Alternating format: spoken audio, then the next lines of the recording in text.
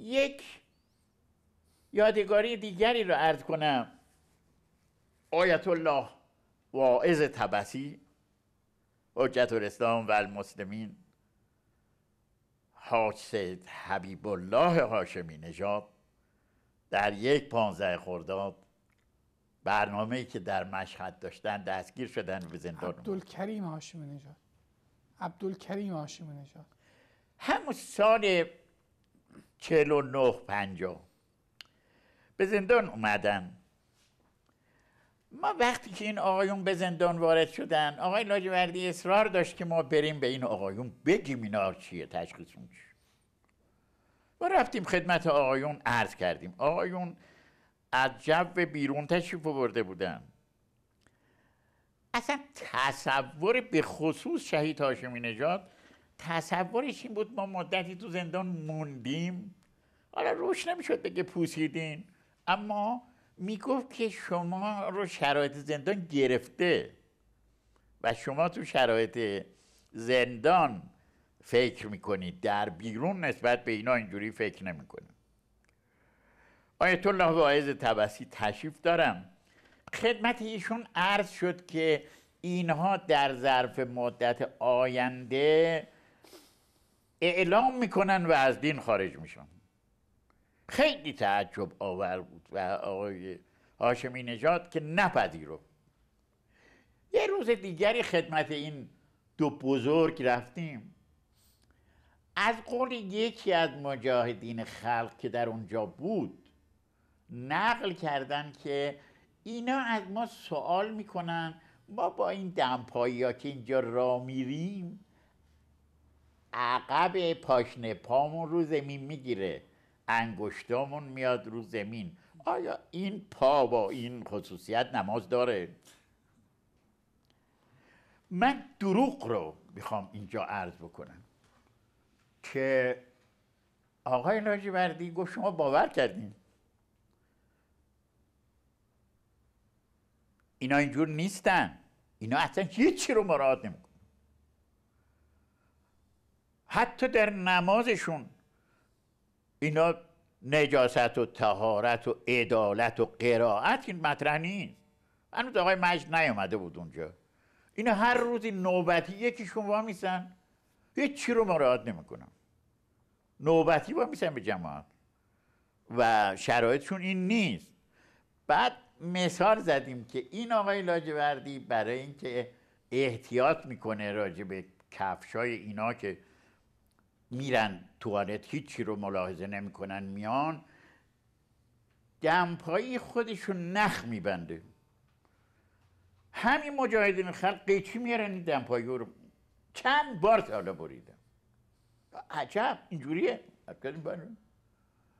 دروغ میگن اینا. البته یه یادگاری رو از حضرت امام دارم که یکی از رهبران اینها همراه یکی از اسلام شناسان مورد اعتماد حضرت امام در نجف خدمت امام می‌رسه در همین شرایط که ما در زندان مشهد هستیم. اون اسلام شناس مورد اعتنا و مورد اعتماد امام و امت خدمت امام عرض می‌کنه که ایشون یک کادر مجاهدین خلق هست. اومده و خدمت شما مطالبی داره. این شخص به امام عرض می‌کنه که در ایران همه ما رو تایید کردن. مراجع تقلید ما رو تایید کردن. صحبت می‌کنه. اسم از آقای شریعت مداری می‌بره که آقای شریعت مداری ما رو تایید کرده. تعدادی از علما میگه ما رو تایید کرده. و اگر شما ما رو تأیید کنید کار تمامه. من برای نسل جوانمون می‌خوام این حدیث رو در وجود امام ترجمه کنم. که معصوم از پیامبر نقل میفرماد که اتقو من فراست المؤمن فانه ینظر بنور الله. از زیرکی مؤمن راستین احترام دارید او با نور خدا می‌بینه خب در این حال که ایشون در نجف محدوده نجف محدوده ای نبود اون روز که مسائل سیاسی خیلی حاد و روشن اونجا منعکس باشه. امام در جواب این شخص بنا به نقل فرمودن که شما خیلی تشکر کنید. که من شما را نمیکوبم. شما را باید کوبید. اما من که شما را نمیکوبم برای این است که تعداد زیادی از جوانان ما فریب خوردن. ما باید کاری کنیم که این فریب خورده ها نجات پیدا کنیم این جمله رو که عرض کردم شرایط کنونی ما شرایطی است که بین جانی و خائن و فریب خورده در این جوان هامون تفاوت خواهد میشه اینجور نباشه که همه اینها رو گرچه همهشون کارت های مساوی در جیبشون باشه مساوی بنگریم. امام هم اینها رو برخورد جدی باشون در نجف نفرمون تا ادهی به هوش بیان. ادهی هم به هوش اومدن. خیلی از نیروهای مخلص صدر انقلاب به بعد از کسانی بودن که دوره فریب اینا رو خورده بودن و امام مجال داد که اینها به آغوش اسلام و ایران اسلامی و امت برگردن. سه تا نکته رو من در زمینه کار مجاهدین خلق و چریکای فدای خلق عرض بکنم. یک نکته این که اینها با اینکه به ظاهر دو سازمان بودن روابطشون زیر پرده مثل دو بخش یک سازمان عمل می‌کردن. در بعضی جاها در بیرون همکاری هایی داشتن. در بیرون متوجه نمی شدن سیاست مداران ولی در داخل ما متوجه می شدیم اینها به تعبیر خودشون به عنوان بخش راست و بخش چپ عمل می کردن. اما یک واقعیت رو داشتن. منتها هر کدام برای اینکه مؤثر باشن که تشکلهای دارای اون ایده و عقیده رو ریشکن کنن تندترین روش رو نسبت به قضافت و تفسیر و تحلیل تشکلهای دیگه داشتن. بسیاری از چیزهایی که به معترف اسلامی تهمت زده شده چه در همون دوران زندان و بعد از زندان اینا کردن و چه تا کنون هم عوامل اینها که در بعضی از تشکلها در داخل هستن انجام میدن به خاطر اینکه اینا می‌دانند که معترفه اسلامی جز اسلامیت ایران و جز ایران اسلامی چیز دیگری رو نمی‌خواد. خب می‌خواستم گریز رو چیز بگیرم.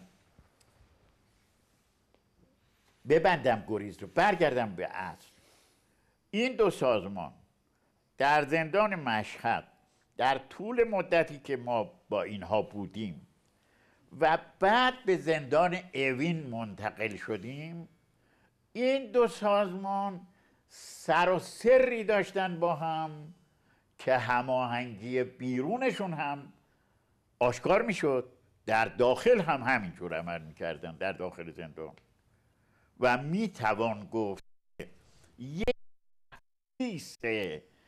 بسیار پیچیده CIA در ایران با دو بخش که به عنوان دو تیغه قیچی تمام تشکلها و سوابق رو قطع بکنه و خودش بیاد جلو مردم رو تحویل بگیره نظامی که امریکا میپسنده پیاده کن. کما اینکه اون وقت که شهید لاجوردی در این باره اظهار نظر می‌کرد اونها ما ستا رو به عنوان اولین ضد انقلاب در کشور معرفی کردم. توضیح دارم؟ توضیح رو عرض می‌کنم. اگه طولانی شد من می‌خوام در این باره کوتاه نیام. چون تا حالا صحبت نکردم در این باره. نمی‌خوام کوتاه بیام. می‌خوام همونه که بودن اینها عرض بکنم. نکته دیگری که اینها داشتن مشترک هر کس از در وارد می‌شد طلبه بود. یعنی دستگیر می‌کرد ساواک میورد زندان مشهد.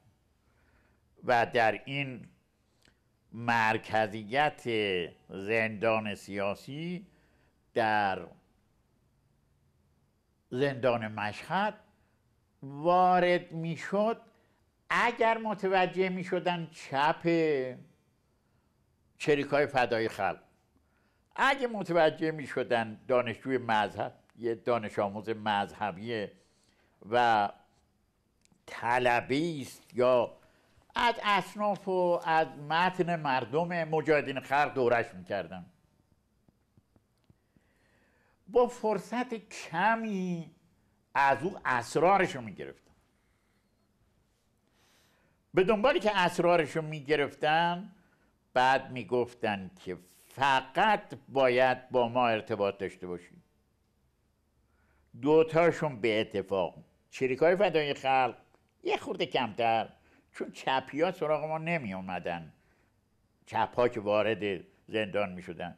اما مذهبی ها همشون رغبت داشتن که این طرف بیان. چنان دیو رجیمی از لاجوردی و هیدری و بنده به این ترتیب که میگم لاجوردی سریح و لحجه ترین بود. و بعد از اون هیدری من درجه سوم بودم. از خودم مایه اونجوری نمیدارم که من چطور شد اینا ما رو گفتن اولین ضد انقلاب؟ لاجوردی که معتقد بود که اینا مسلمان نیستن مشرک به زندان اومدن و الان ملحدن. گفتیم بشینیم با اینا صحبت بکنیم. قرار گذاشتیم. هشت نفر از سران اینها و ما ستا شاید بیست و سه چهار جلسه چهار ساعته پنج ساعته شش ساعته طول کشید. راجع به اینکه تازه واردان در زندان چه مرحله ای دارن می‌تونید از آقای حمید رضای ترقی بپرسید. آقای حمید رضای ترقی وقتی که شاه ملعون در کشور حزب رستاخیز رو اعلام کرد و امام موضع گرفتن. این دانش آموز در نیشابور حمید رضای ترقی در نیشابور یه اعلامیه نوشت بر علیه حزب رستاخیز. خودش و دوستانش رو دستگیر کرد ساواک و اوورد زندان.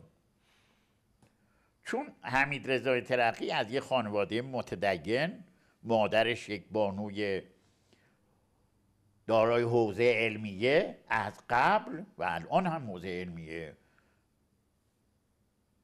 پر رونقی رو در نیشابور داره. شناختی از ماها از بیرون داشت که اومده بود زندان. در توی زندان به محضی وارد شد اینا محاصرش کردن و بردن تو همون مراحل. همه اطلاعاتی که میباس به او بدن او اطلاعات گرفت بقتتا از اینها جدا شد و اومد جزء ما سه نفر شدیم چهار نفر. اون چه می‌شد به اون نسبت دادم. منتها آشکار شده بود که اینها با تازه واردین چگونه عمل می‌کنن و چه خصوصیاتی دارن. ما این بیست و سه چهار شب. طولانی. از نظر جهانبینی از نظر اعتقاد و ایدئولوژی از نظر اعمال از نظر اخلاق از نظر روش ها منش ها سوابق سیاسی تشکلها در کشور سوابق سیاسی خود اینها مواضع امام همه چیزها در ظرف این 24 سب اونجا بر... مورد بررسی قرار گرفت. آخرین شب دیگه اینها هیچ مطلبی برای گفتن نداشتن. خدا رحمتش کنه لاجوردی هم سریح و لحجه و هم نسبتا پر مطالعه و استخدام لفظش هم الفاظ خوبی رو استخدام می‌کرد. دیگه اینا حرفی نداشتن. اون شب که از اونجا رفتن فردا صبح اعلام کردن اسدالله لاجوردی ابوالفضل حاج حیدری و حبیب الله اسکر اولادی سه ضد انقلاب هستند که اولین ضد انقلاب در کشورن. اینا بر اساس همین شروع کردن تخریب کردن و هر کس از زندان خارج می‌شد سعی می‌کردن پیغامی برای علما برای شخصیت ها بر علیه ما